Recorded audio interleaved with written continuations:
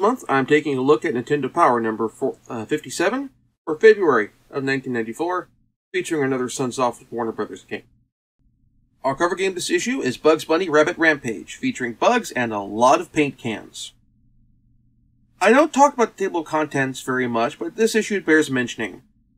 In this issue, like the previous issue, we have seven Super Nintendo games listed, technically more if you count the sports roundup, two Game Boy games, and only one NES game. The NES is definitely at the low ebb, on, on its way out, and the Game Boy upcoming games, there aren't quite heavy enough to give a more gregarious coverage to that system. In the letters column, we have a David Letterman style top 10 list. we start this issue off with the cover game, Bugs Bunny Rabbit Rampage. This game is an adaptation of a bunch of Bugs Bunny cartoons, like the Duck Dodgers game was, with the difference being that the Duck Dodgers game was a all the cartoons were thematically linked to each other, whereas here it's just a series of vignettes based on specific uh, Bugs Bunny cartoons. This game this doesn't get level maps, but does have notes on several levels. This is a very chaotic game. The sprites are large and very detailed, but there is a lot going on on screen at once, and the game is never really great at communicating what enemies you can permanently defeat, and what enemies you should bypass while you're making your way to the finish, and once you've reached the boss, it doesn't communicate how much damage you've done to the boss, if you've done any damage at all, and how close you are to defeating them. This is frustrating. Part of the issue is, is a lot of the generic enemies can't be beaten, only stunned. Consequently, the conclusion you get from your attacks is the best they can do is stun their enemy. So when you reach the boss, you don't know if you're damaging the boss, you don't know what you have that could damage the boss, and you don't know how effective those attacks are if they're doing any damage at all. It's a shame because Rabbit Rampage's character and style in spades. If I was going to do a retroactive Giant Bomb style Game of the Year list for this year, this game would absolutely be in the running for best style. It's a game made by people who love Looney Tunes cartoons and want to give players the experience of playing a bunch of Bugs Bunny cartoons. It's a shame this title just can't quite pull it off. Next is Young Merlin from Westwood and Virgin Interactive. The game appears to be something of an adventure game, modeled after Zelda. The guide gives maps of some early dungeon levels.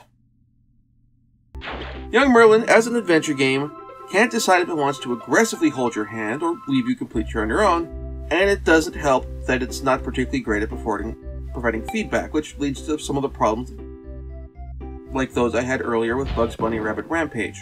If you don't provide visual, visual or auditory feedback for whether your attack is doing any damage, then you don't know if you're on the right track or not, or if you should try something else. It really shows how much the language of game design has progressed and hasn't progressed over the past few years since the launch of the NES, and how it's adapting to 16-bit systems and where certain developers fall in the progression of this. Skyblazer is next, and it appears to be a action platformer like the side-scrolling parts of ActRaiser. Skyblazer is really good. We have fluid animations, interesting traversal mechanics, and a pretty nice amount of game balance that makes the levels just difficult enough when it promotes exploration by the player, which makes for a really fun game. Unfortunately, as with all games like this, it's incredibly expensive, you guys. We're talking like 75 to $100 loose. That is insane. And it may be hard to recommend this game unless it ends up on the Switch's version of Virtual Console, because it's not on the Wii U or Wii. Because, again, it controls incredibly well, the environments are expansive, the difficulty is balanced just right so that you aren't penalized for getting off the beaten path. It's, it's perfect but it's way, way too expensive for this game. Honestly. The magazine has another licensed title with Inspector Gadget, a platformer based on the cartoon. The article has maps and notes for the first three stages, and just notes for levels 4 through 6. Inspector Gadget is a platformer that looks like an Amiga or PC platformer, but manages to get the console style platforming right in terms of jump physics and that sort of thing, which is exactly what I want in a platformer. Controls are fine and level design is pretty good. The game uses Gadget's, well, gadget abilities for some neat traversal challenges, in addition to fighting enemies. It's a nicely done game. I'm not exactly a must-buy for me, but it's definitely something that is actually pretty good. Um, rather impressed by this compared to some of the other licensed games we've gotten outside of stuff from Sunsoft. We have our seasonal sports lineup this issue with a slew of titles, and I think I'm actually going to cover them all this time. Winter extreme skiing and snowboarding is first up, and it's interesting because it's not what you expect when you think of games around these sports. It's not a trick-based race game like SSX, which makes sense, the systems around this time couldn't really handle it. But neither is it a downhill slalom race like, well, Slalom or numerous other games for the Nintendo, nor is it a collection of mini-games like Summer Games, Track and Field, or Skate or Die. No, this is a point-to-point, beat-the-clock race like Outrun.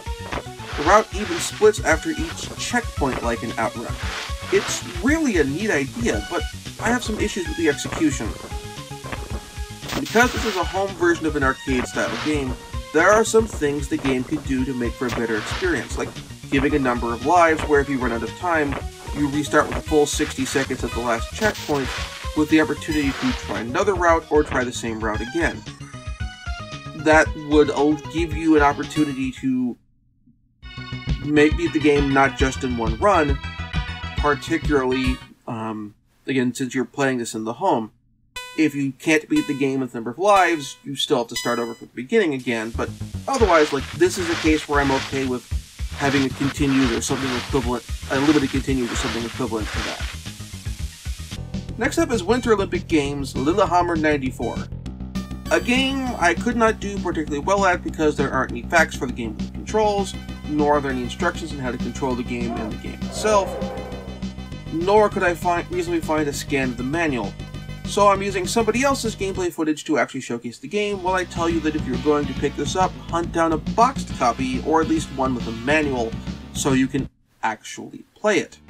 As we're now at the point with the with 16-bit games because we have more buttons than the NES, it is harder to guess your way through how you play the game based on the number of buttons you have on the controller. Riddick Bowe Boxing is a title that really puts some wear and tear on your hand. It's a game that definitely aims to be more of a simulation than some of the other boxing titles that came out for the Super Nintendo, with the controller using the face buttons for left and right hooks and jabs, and the shoulder buttons handling how you weave and dodge. The game is also good at communicating information in terms of you and your opponent's stamina and health. That said, the game does have a problem. Your attacks don't wear down your stamina, particularly, nor does blocking particularly do any chip damage. If it was one or the other, that would be fine because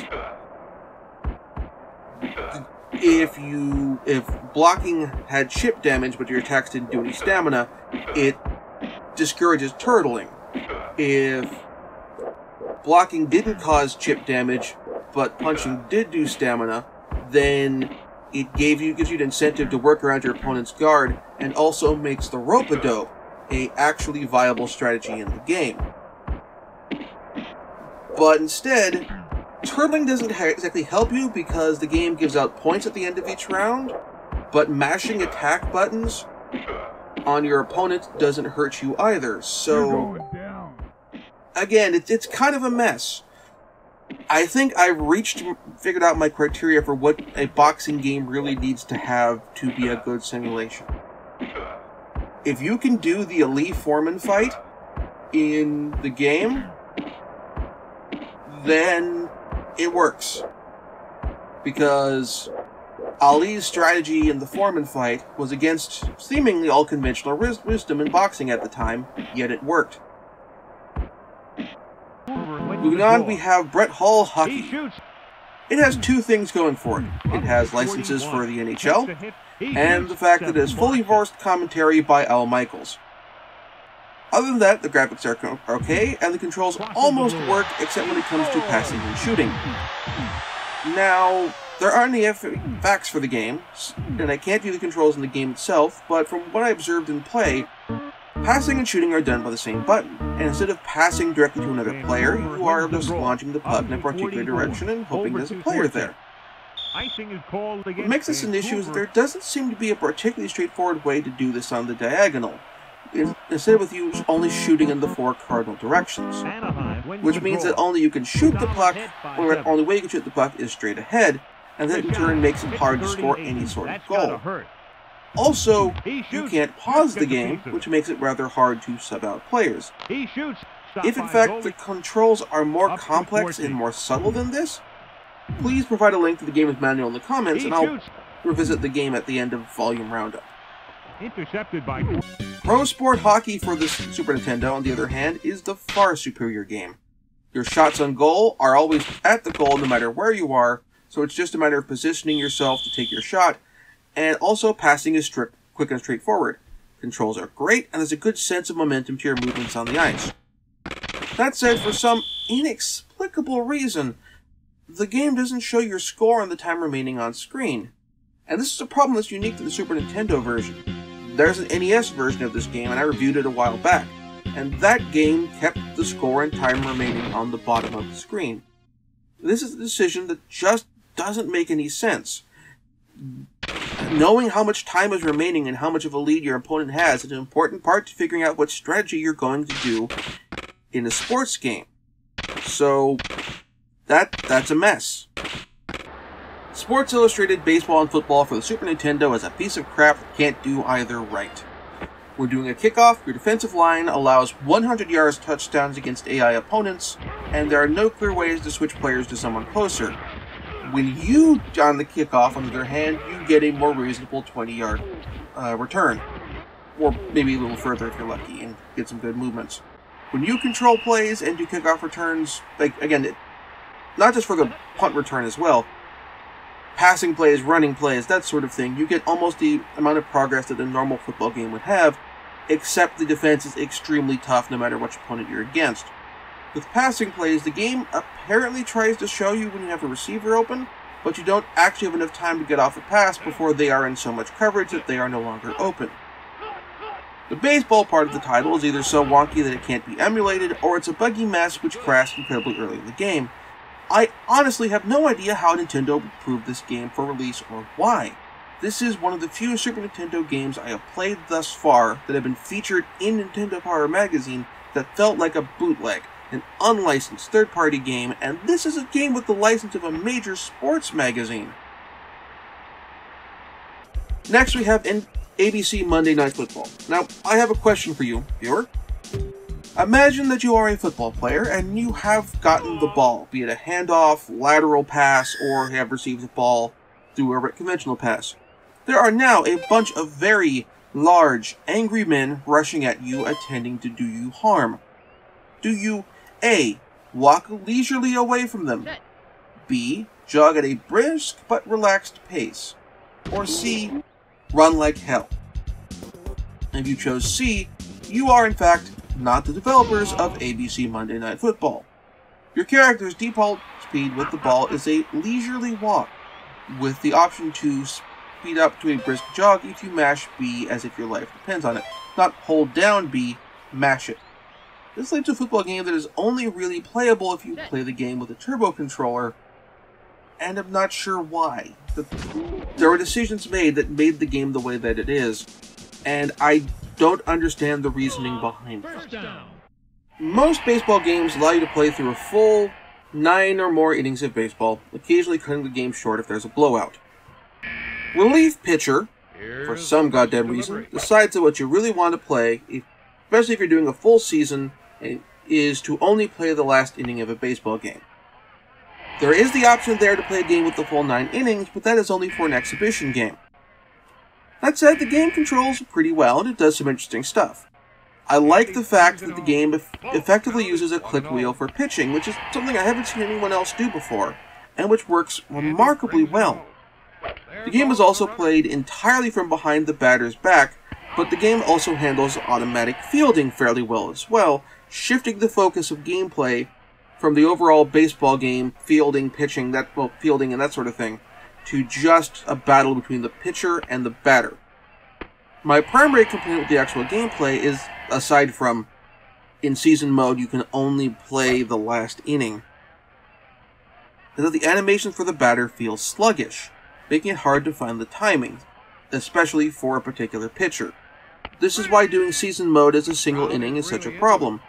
You don't have enough time to figure out the timing in a single inning.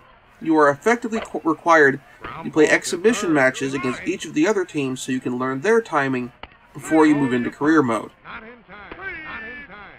Next up is BCA Presents Championship Pool. Now, this is a decent pool game with pretty straightforward versions of 8 ball and 9 ball you can play, either with another player as or against a computer as an exhibition game or as a tournament.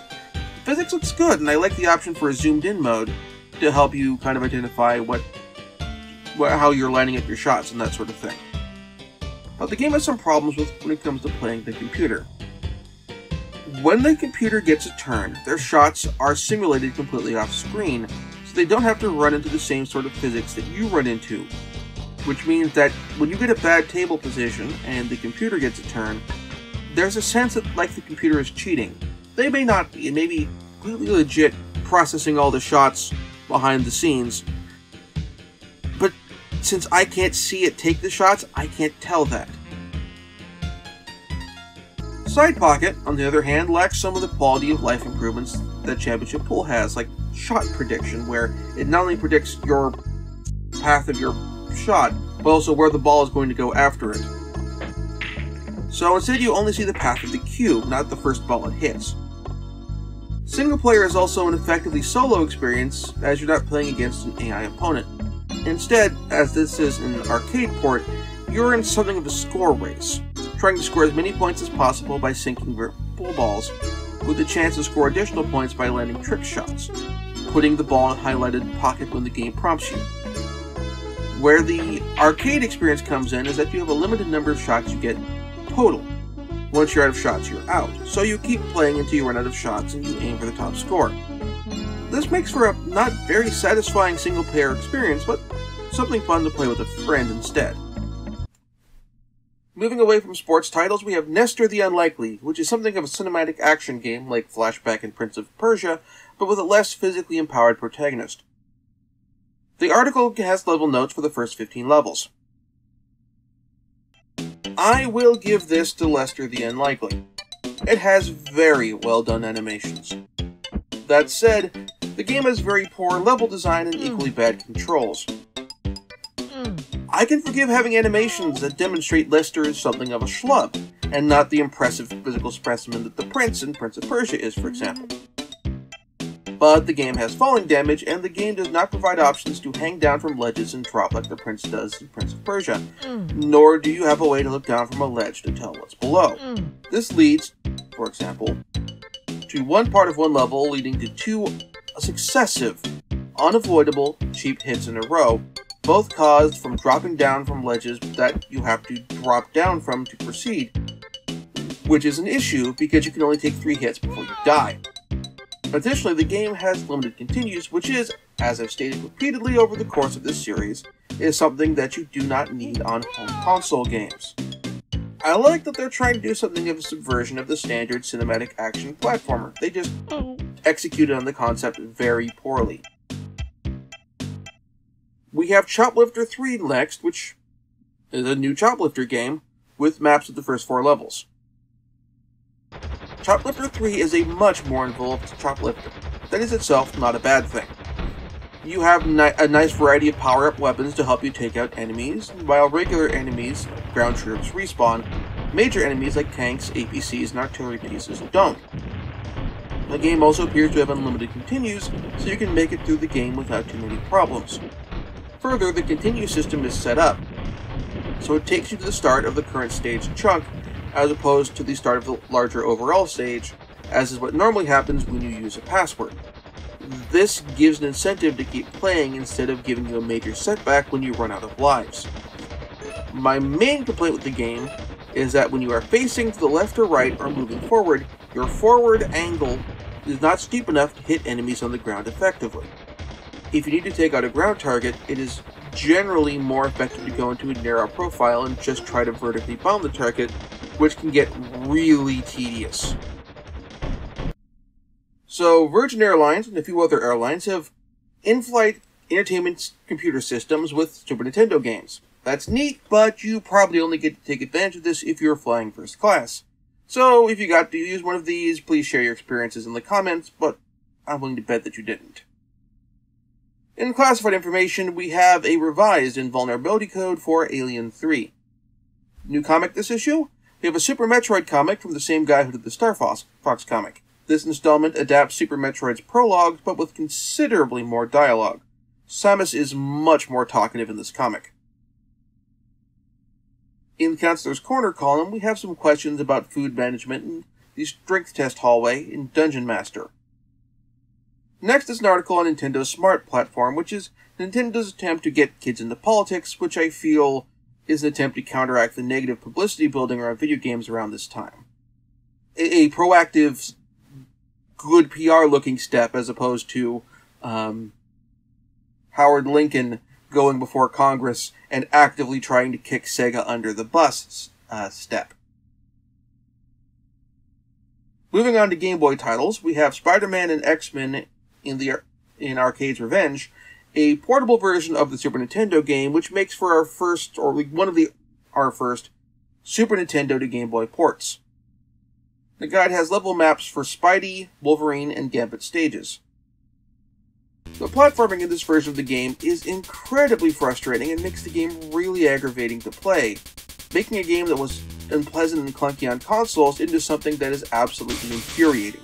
Don't play this game. Our second Game Boy game is Bart and the Beanstalk, a new Simpsons game which is only tentatively connected to the, TV series. Bart and the Beanstalk is a very poorly put together game. The camera movement actually lags behind the movement of your character, leading to situations where you end up right on top of enemies before you can actually see them. Further, the levels are designed with a bunch of precise platform jumps in mind, but without the controls or movement to reflect those jumps. This is not helped by the developers not managing to find that balance between large expressive sprites and a field of view that allows for players to see what's coming that a lot of other third-party developers have figured out by this time. So yeah, it's another really terrible Simpsons licensed game. So skip it. Wrapping up the games for this issue is Star Tropics 2 for the NES. There's information on the new mechanics as well as maps of some of the early levels. Star Tropics 2 is a pretty good sequel to the first game, tweaking the mechanics from the original title while keeping the structure somewhat familiar. But unlike the first game, where you're going through various tropical islands with NPC characters filmed themed around that general concept, you're traveling through time and space, meaning characters will vary heavily from section to section. The gameplay is well enough, though it's a bit of a slog in the early going as the game gives you something similar to random encounters, except instead of being something that helps you build up strength, they end up being something that merely drains your health. In the top 20 rankings, Mortal Kombat retains the top spot on the Super Nintendo, but Street Fighter II Turbo is closing up. In the now playing column, of note in the also rans is Super Chase HQ.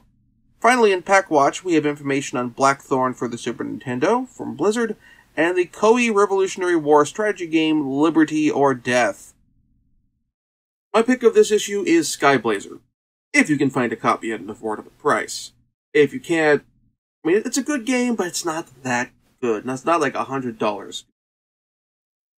If you can't find a copy at an affordable price, Choplifter 3 is a little more accessible. I found a bunch of copies around it of it floating around the place, including my own personal copy, which I got around for like $10, $15. Admittedly, that was a few years ago, but still. It should be at the very least sub thirty dollars, even considering uh, NES or Super Nintendo cartridge price inflation. Next issue, we get the Nester Award nominees and the Super NES version of the predecessor of a game which came out this year. Well, this year being 2017.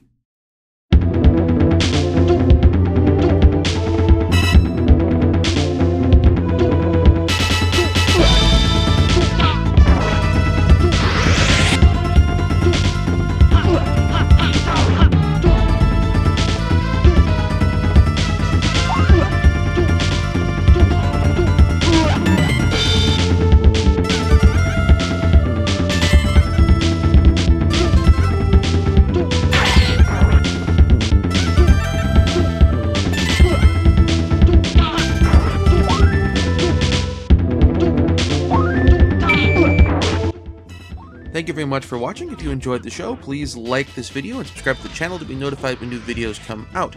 If there's something in particular you'd like to see me cover, or just want to get your name in the credits or otherwise help the show, please support my Patreon. Once again, thank you very much for watching, and see you next time.